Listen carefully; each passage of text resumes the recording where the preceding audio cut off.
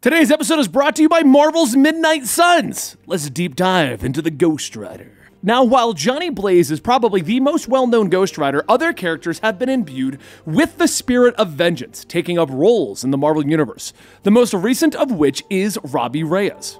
Shown to be a hardworking and intelligent man, Robbie has no interest in becoming a superhero, mainly wanting to only take care of his brother. He differs from the past Ghost Riders that he didn't sell his soul for any purpose. Robbie Reyes was introduced as the Ghost Rider in Marvel's all new, all different phase, when the editors decided that they needed a new and younger Ghost Rider. Robbie was first introduced in All New Ghost Rider number 1 in 2014. Created by Felipe Smith and Tradd Moore, Robbie was designed to be visually different from Ghost Riders of the past. Robbie drove around in his muscle car, he also didn't have the traditional Ghost Rider skull, with a flaming head being designed to look like a classic muscle car. While Robbie has the most standard Ghost Rider powers, he is also linked to his muscle car in a way that previous Ghost Riders weren't with their motorcycles. He was able to actually merge with the car and can teleport to wherever it is. He can also use his muscle car to open up portals of hellfire, which allows him to teleport himself and others anywhere he wants. While Robbie originally didn't have a penance stare, possibly the Ghost Rider's strongest ability, he eventually became powerful enough to use this power.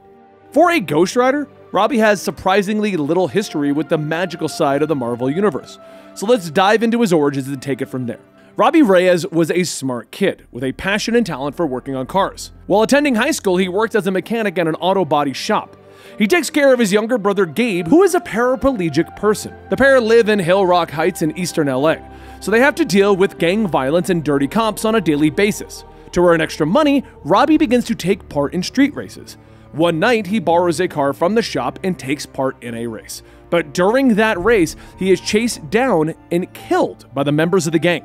They try to burn Robbie's body and the car, but Robbie is at that moment possessed by a vengeful spirit.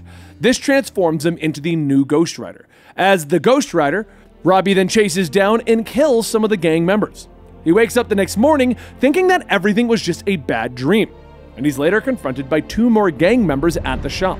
But he transforms into the Ghost Rider once more, defeating them and driving them off. After becoming Robbie once again, he speaks with the vengeful spirit who names itself as Eli. Eli promises that he will give Robbie the power to make those who attacked him pay. Robbie hesitates briefly but accepts the offer. As the Ghost Rider, the pair hunt down the gang members and discover that they were working for Mr. Hyde, who had hidden some of his pills inside of the car that Robbie had, well, borrowed. Ghost Rider defeats them but refuses to kill. With the task done, Robbie decides against becoming a regular superhero, instead using his abilities to win street races and make some extra cash. But the new Ghost Rider gets the attention of Johnny Blaze, who comes to Los Angeles to ensure that a new spirit of vengeance hasn't been unleashed onto the world. He confronts Robbie just as Eli takes full control of his body, using the Ghost Rider to hunt down and kill a member of the Russian mob.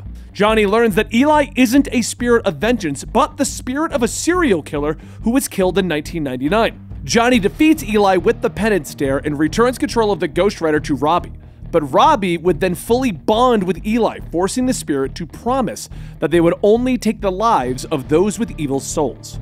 Robbie would then continue to act as the Ghost Rider for some time before he joins a group of Marvel heroes that must fight against the Dark Celestials as they invade the Earth. He's then offered a spot on the roster of the new Avengers, joining them in Avengers Mountain, which is inside of the corpse of a dead Celestial. Though he has most of the same abilities as the previous Ghost Riders, Robbie didn't have the penance stare since he's technically not a spirit of vengeance. It was during a fight with Starbrand that Robbie discovered that he does in fact have this amazing ability when he accidentally used it to kill the Starbrand. Robbie would then also journey into Hell where he's challenged to a race by the new king of Hell, Johnny Blaze. He went on his own adventure during all of this. Johnny planned on defeating Robbie and taking his power for his own. But Robbie was aided by his teammates in the Avengers and the past spirits of vengeance, and he defeated Johnny, claiming the throne of hell for himself, though he would give it up immediately and allow Johnny to take it back once again. Afterwards, Robbie would gain more control over his powers, becoming more secure in his place in the Avengers. And there you have it. As a newer character, Robbie doesn't have a long history in the Marvel Universe, but he has proven himself to be a capable hero on the Avengers. How powerful will he be in Marvel's Midnight Suns? Will he be able to stop the forces of evil? You'll have to play to find out. and check back as we look at more of the playable characters in Marvel's Midnight Suns. Thank you guys for joining us today, and don't forget, this episode is brought to you by Marvel's Midnight Suns. And on that note, I'm Benny, and I'll see you next time.